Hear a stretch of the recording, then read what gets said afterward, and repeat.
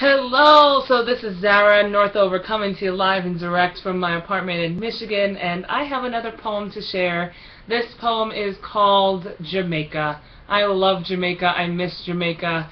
Um, everything about it, the vibes, the people, the culture, the music, the food, the everything. And I can't wait to get back to my country. So here we go. Let's check out Jamaica written by your girl Z.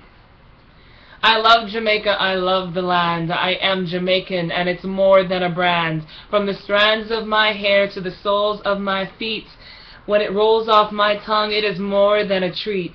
The blood in my veins run deep beyond my roots. My father and mother raised me to know the truth. The country I love is made up of pure talent.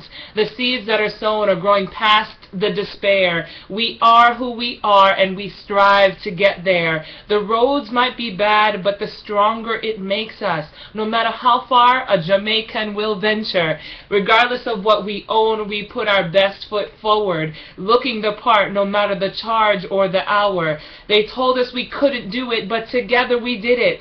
Out of many, one people is the motto for a reason. Music and sports are just few of our talents. We are smart, hardworking. We are up for the challenge. Don't bet against Jamaica, for you will always fail. No matter how many times we lose, we will try again. Failure is not an option. We go until we win. Our determination is like no other. That is why our hummingbird sings.